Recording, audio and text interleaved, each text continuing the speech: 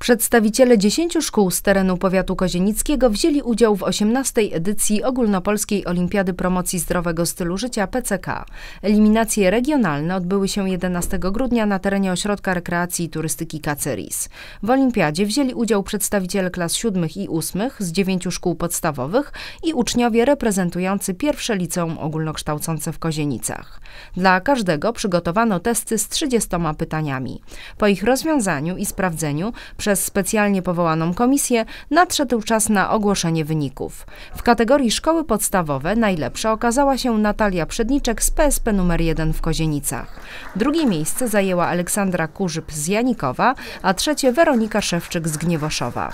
W kategorii szkoły średnie pierwsze miejsce przyznano Wiktorii Rytko z pierwszego LO, drugie zajęła jej szkolna koleżanka Kamila Wolska. Wiktoria Rytko będzie reprezentować Kozienice w etapie rejonowym olimpiady. Jest o co walczyć, bo nagrodą w etapie centralnym jest indeks na medycynę.